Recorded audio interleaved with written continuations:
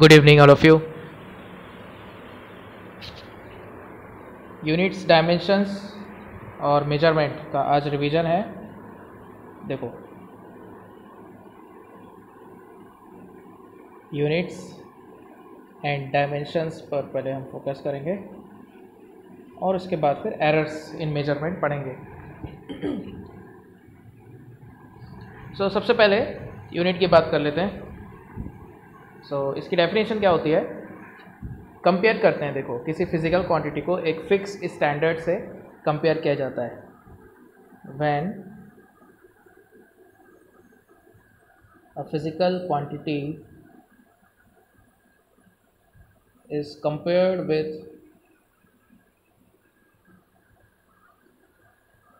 fixed standard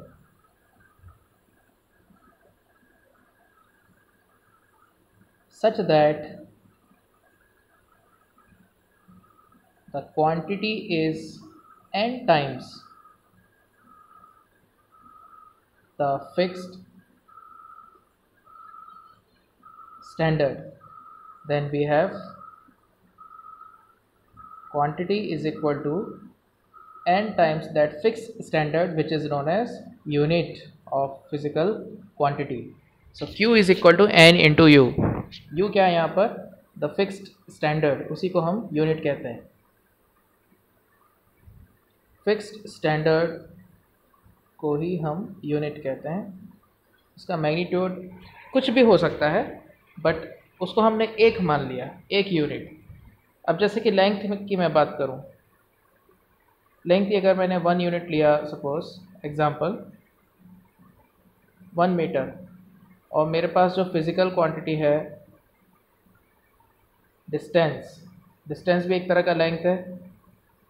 good evening distance भी एक तरह का लेंथ है और वो सपोज़ टेन टाइम्स है वन मीटर तो मेरी फ़िज़िकल क्वांटिटी क्या हो गई? L is equal to ten into one metre तो यहाँ टेन क्या है?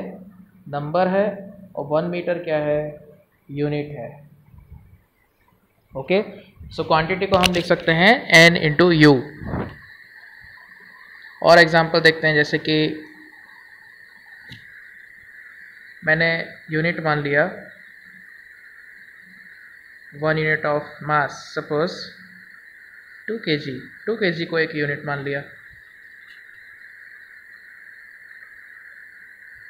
और फ़िज़िकल क्वांटिटी है mass of person suppose mass of person है।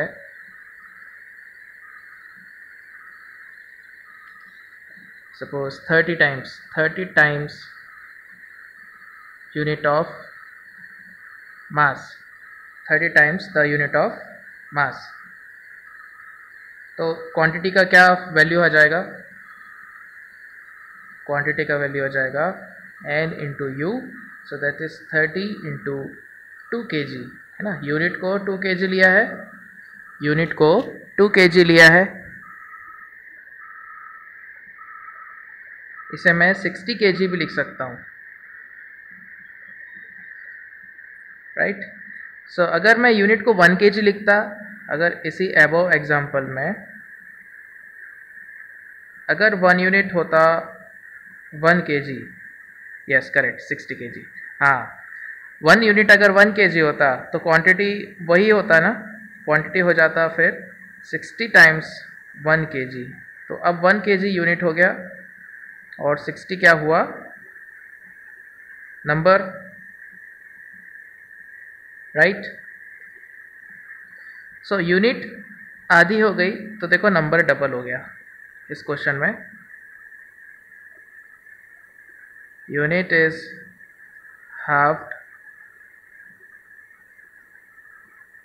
then number is doubled number double हो गया यूनिट आधी हो गई। तो यहाँ से एक रिलेशन आ गई एन और यू में। वो क्या रिलेशन है?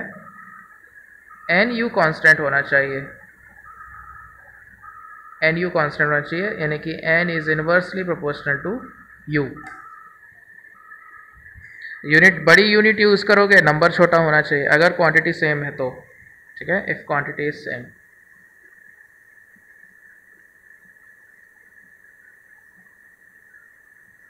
और अगर छोटा यूनिट है बड़ा नंबर यूज़ होगा। चलो इस पर बेस्ड अब मैं कुछ क्वेश्चंस देता हूँ ठीक है? फंडामेंटल क्वांटिटीज़ का लिस्ट मालूम है सभी को? Length mass time amount of substance temperature electric current luminous intensity ठीक है? उनका ऐसा यूनिट मालूम है। सो so, मैं डायरेक्ट क्वेश्चन पे आ रहा हूँ देखो ध्यान से।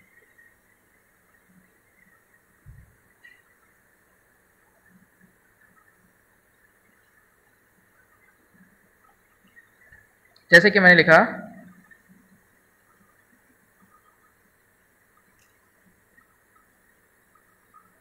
one unit of mass in new system is two gram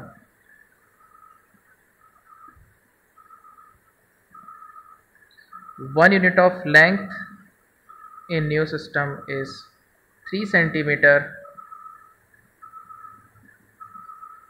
one unit of time in new system is 10 seconds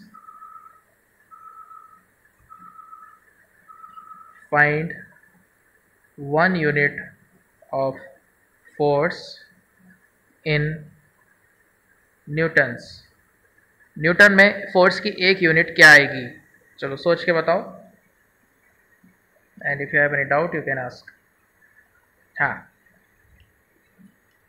तो यहाँ पर हम कौन सा कंसेप्ट यूज़ करेंगे?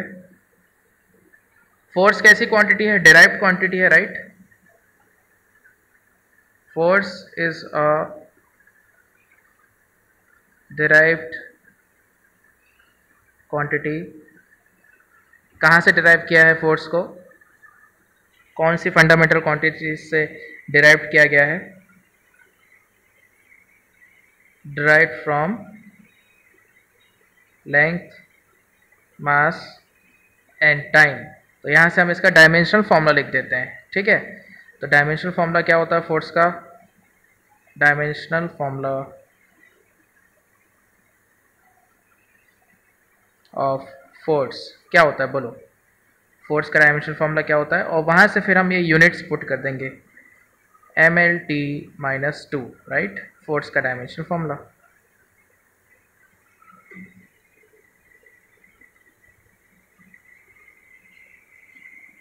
yes right correct M L T minus two so अभी क्या करें? इसके आगे क्या करें अब?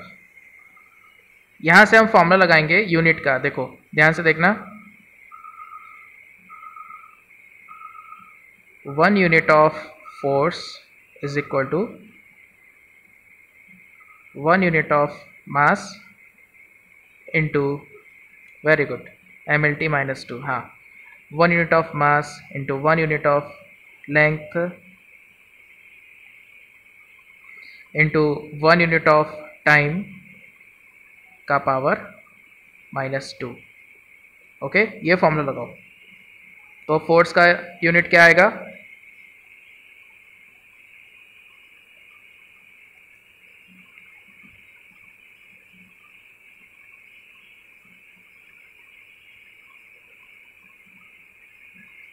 ये कंसेप्ट मैं यूज़ कर रहा हूँ यहाँ पर, देखो ध्यान से।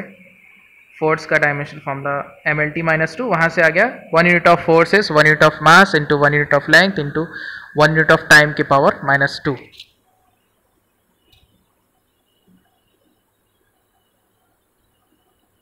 आया कुछ answer one unit of force is equal to one unit of mass कितना है? Two gram into 1 unit of length 3 centimeter into 1 unit of time power minus 2 10 seconds raise to minus two इसे सॉल्व कर लो, gram को KG में कर लो. Ten raise to minus three K G centimetre को metre में कर लिया. Three into ten raise to minus two metre और ये हो गया टेन की power minus two second square इसको और फर्दर सॉल्व कर लो और K G metre per second square newton होता है right so two into three into ten raise to minus seven K G metre second raise to minus two ये newton बन गया। Correct six into ten raise to minus seven newton ये answer है। ठीक है? This is our answer one unit of force is this much newton. बहुत छोटा unit है।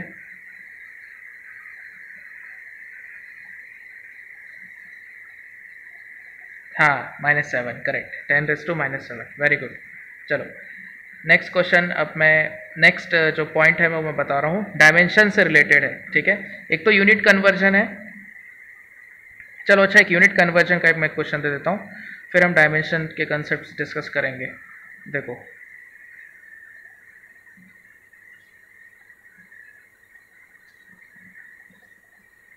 बेसिक सा क्वेश्चन मैं दे रहा हूँ, इसका जल्दी से मुझे आंसर देना। कन्वर्ट वन के जी पर मीटर क्यूब इंटू ग्राम पर सेंटीमीटर क्यूब बोलो, क्या आएगा?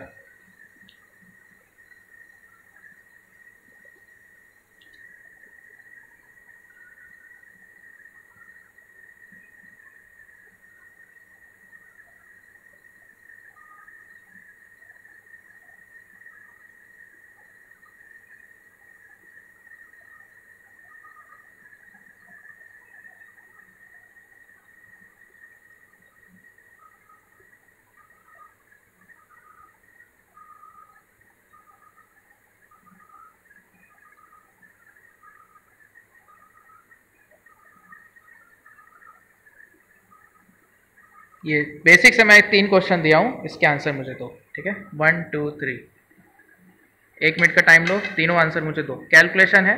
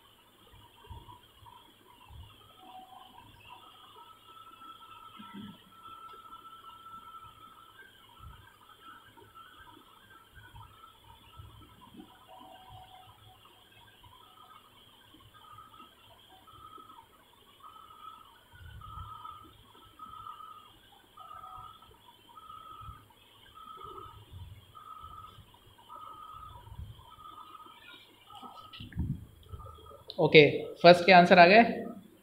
चलो देखते हैं। देखो कैसे करेंगे? शुरुआत कैसे करो? देखो गलतियाँ भी नहीं होना चाहिए मेथड ऐसी होनी चाहिए। देखो one K G upon metre cube is equal to X times gram upon centimetre cube so K G को मैं ग्राम में कन्वर्ट कर लेता हूँ। टेन के पावर थ्री ग्राम और मीटर क्यूब को सेंटीमीटर क्यूब में ये हो जाएगा टेन के power six centimetre cube is equal to X gram upon centimetre cube centimetre cube cancel हुआ। सो so, एक्स आया यहाँ से। Ten dish to minus three very good almost सभी का आंसर सेम है। Point zero zero one Harsh Dhanashree Paras okay Pranali. Vanita okay very good चलो question two पहले क्या आ गया? टेन की power minus three question two करते हैं अब।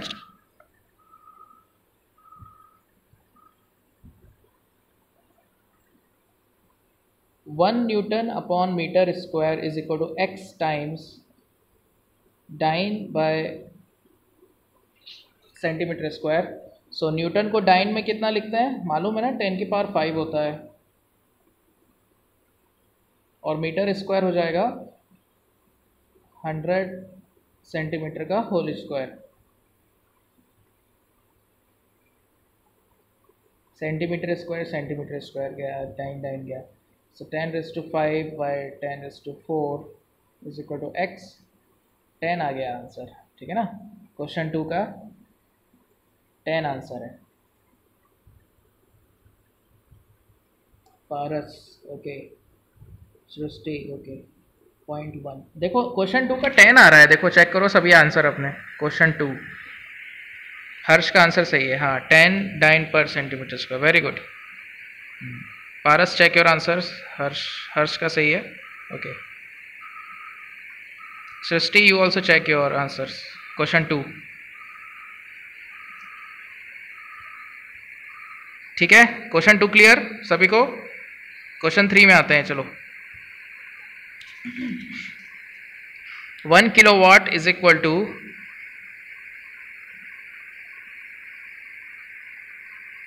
हाँ is equal to X times milli watt milli कितना होता है? Ten raise to minus three होता है, ठीक है ना? और किलो कितना होता है? Ten raise to three so one into ten raise to three watt is equal to X times ten raise to minus three watt watt watt cancel हुआ। तो देखो एक्स आ रहा है कितना आ रहा है? देखो टेन के पार सिक्स आ रहा है। समझ आ गया? So one kilo watt is ten raise to six milli watt third question भी चेक करो। हर्ष सृष्टि हाँ पारस ओके टेन के power six check your answers guys ठीक है। चलो, आगे मैं बढ़ रहा हूँ अब। चलो नेक्स्ट कंसेप्ट ये यूनिट का हो गया है ना? अब थोड़ा डायमेंशंस का हम करते हैं डिस्कस देखो।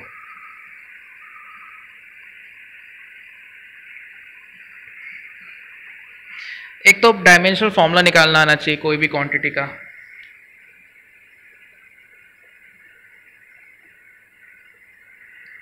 क्या क्या पता होना चाहिए? How to find dimensional formula of any physical quantity जिसको हम डिराइव्ड क्वांटिटी भी कह सकते हैं। हाउ टू फाइंड तो इसका मैं थोड़ा प्रैक्टिस करा देता हूँ कुछ इंपॉर्टेंट क्वांटिटीज़ का जो एलेवेंथ ट्वेल्थ दोनों से हम लेंगे क्वांटिटीज़ सबसे पहले तो फ़िज़िकल फॉर्मूला पता होना चाहिए ठीक है? अब जैसे कि मैं कहूँ प्रेशर का निकालना है जैसे कि फ़र्स्ट तो ये डिराइव्ड क्वांटिटी है फंडामेंटल क्वांटिटीज़ तो सेवन होती हैं उनके टर्म्स में ये क्या आएगा? पहले वो निकालना है। सो so, प्रेशर होता है फोर्स बाय एरिया फोर्स को फर्दर हम क्या लिख सकते हैं? मास इनटू एक्सलेशन लिख सकते हैं। और acceleration velocity by time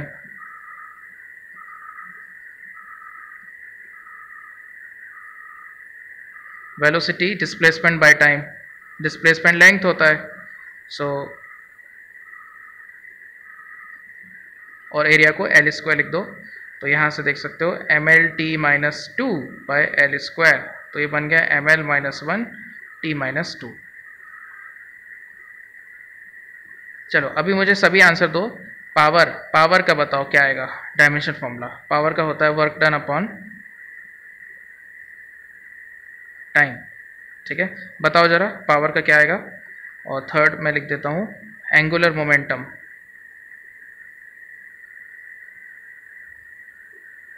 angular momentum L is equal to M V R लगा देना, ठीक है? मास वेलोसिटी इनटू डिस्टेंस तो ज़रा बताओ, ज़रा जल्दी इनके डायमेंशन फॉर्मूले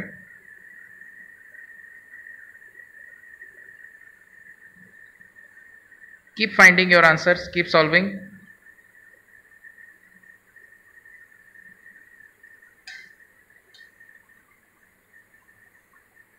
हाँ ओके पावर का हम निकाल लेते हैं। Work done upon time so work done हो जाएगा force into displacement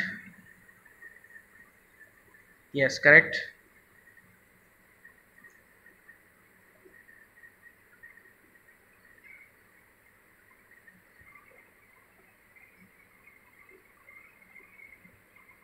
hmm okay so force का M L T minus two displacement L और टी नीचे आ गया. तो ये बन जाएगा M L two M L two T minus three okay Harsh Mansi okay Vanshita और Vanita okay very good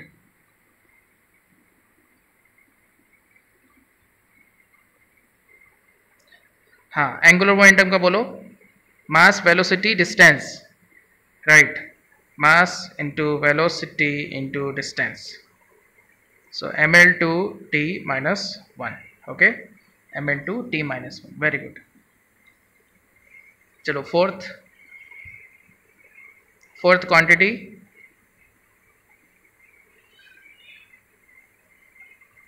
fourth quantity हम लेते हैं. ट्वेल्थ टॉपिक से लेते हैं, ठीक है? परमिटिविटी चलो, इसका फॉर्म इसका डायमेंशनल फॉर्मूला बताओ. Electrical permittivity of free space.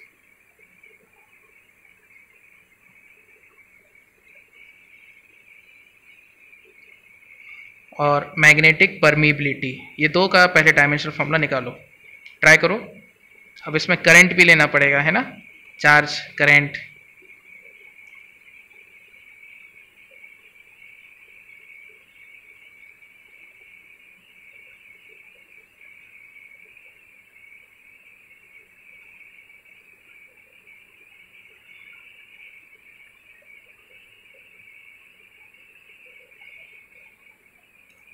चलो फोर फाइव सिक्स ट्राई करो। इलेक्ट्रिकल परमिटिविटी का निकालो पहले। कोलम्स लॉ यूज़ कर लेना इसमें। और मैग्नेटिक परमिबिलिटी के लिए जो हम मैग्नेटिक फ़ील्ड निकालते हैं ना रिंग का और मैग्नेटिक फोर्स वो दो फॉर्मूला यूज़ कर लेना म्यू नॉट फाइंड करने के लिए डायमेंशनल फॉर्मूला चलो ट्राई करो question four five six six question में दोनों का प्रोडक्ट है। म्यू नॉट एप्सलन नॉट का प्रोडक्ट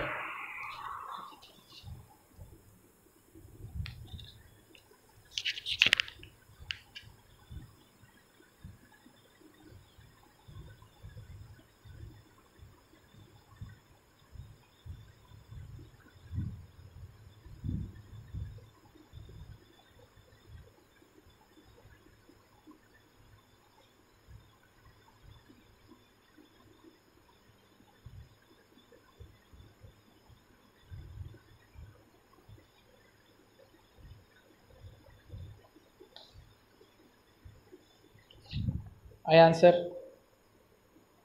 हाँ fourth okay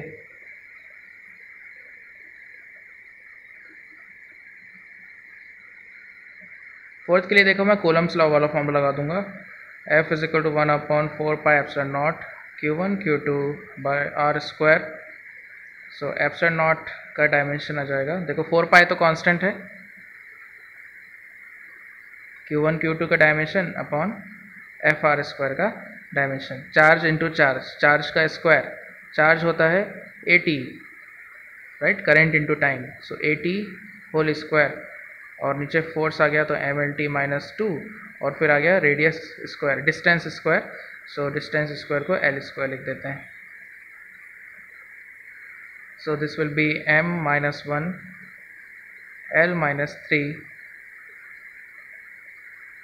A square T raise to four. समझ आ रहा है? Question four. मानसी का सही है वेरी गुड हर्ष। ए की पावर माइनस टू नहीं है प्लस टू है चेक करो।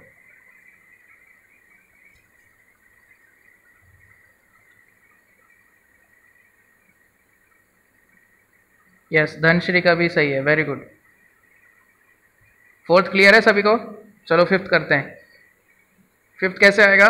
दो फॉर्मूला यूज़ करो। एक तो ये वाला यूज़ करो magnetic field due to ring ring के सेंटर में क्या होता है? Mu naught I upon two R so mu naught लिख लो।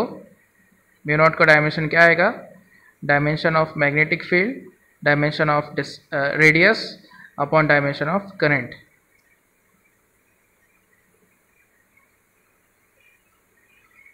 और बी फिर वहाँ से निकाल लो। मैग्नेटिक फोर्स का फॉर्मूला होता है ना F is equal to Q V B so B आ जाएगा F upon Q V so mu naught का डायमेंशन हम कैसे निकालेंगे? Dimension of force by Q into V into radius by current clear अभी डायमेंशंस रख दो। So M L T minus two बोलो। Answer क्या आ रहा है? क्वेश्चन फाइव बोलो। ट्राई करो। बताओ सॉल्व करके। पुट करो डायमेंशन फॉर्मूला